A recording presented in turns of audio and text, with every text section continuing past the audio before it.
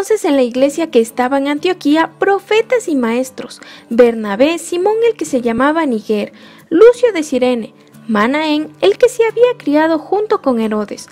Ministrando estos al Señor y ayudando, dijo el Espíritu Santo, Apartadme a Bernabé y a Saulo para la obra que los he llamado.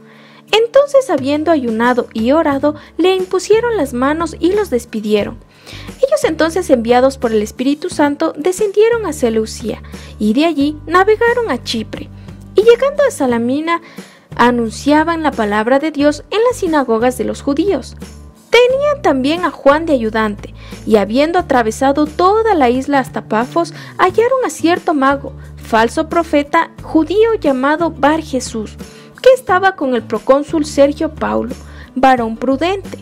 Este llamando a Bernabé y a Saulo deseaba oír la palabra de Dios, pero les resistía el Imás, el mago, procurando apartar de la fe al procónsul. Entonces Saulo, que también es Pablo, lleno del Espíritu Santo, fijando en él los ojos, dijo, Oh lleno de todo engaño y de toda maldad, hijo del diablo, enemigo de toda justicia, ¿no cesarás de trastornar los caminos rectos del Señor?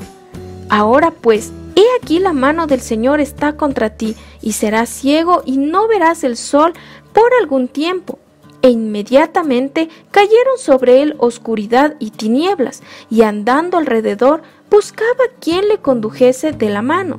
Entonces el procónsul, viendo lo que había sucedido, creyó maravillado de la doctrina del Señor.